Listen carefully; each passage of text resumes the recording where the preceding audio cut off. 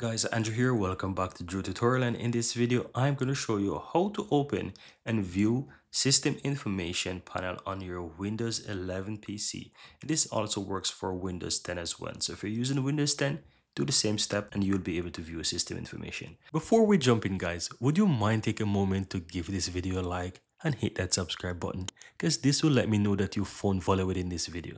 And on top of that, the biggest benefit is that you'll never miss out when I release future videos just like this one. Now let's continue. So click the Windows key on your keyboard or simple press the Windows icon on your taskbar and simple type in system. And once you start typing system, you will see two options. System on the control panel, that's not the one, but there is another one that says system information. You want to click on that. Now this will open up the system information panel and this is very useful guys. Now on the left hand side, you have a summary that you can easily go ahead and expand. They're categorized in three. You have the hardware resources, the component and the software environment. So you can expand each and you can click between whichever one you want by just looking at it and you will see that there's quite a lot of valuable information and to sum it up it basically gives you all you need to know about your Windows PC.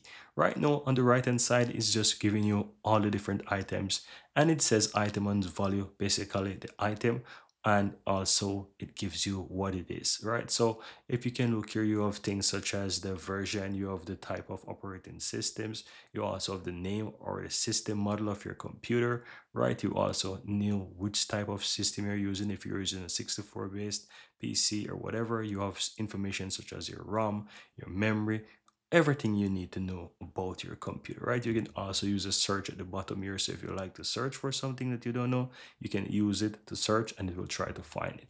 But if you want to go through to see what it is about, you can simply go ahead and browse through by simple clicking on each. And as you can see, you can click on whatever it is and it will find information for you regarding that on your PC.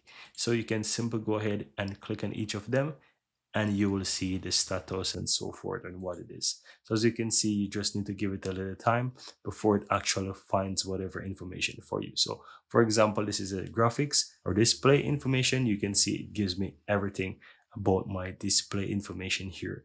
And it is a lot of details. So everything you need to know, right? So let's say I would like to know about my network as well. I can expand that and I can simple click and whatever it is and you can see that it gives me everything. So Guys, if you want to know a lot about your computer and this information is something you're looking for, system information is what you need to get to know your computer and to get to know your system status about your computer. So very easy and very simple and very valuable information here, guys. Here you have it, guys. I really hope you found value within this video.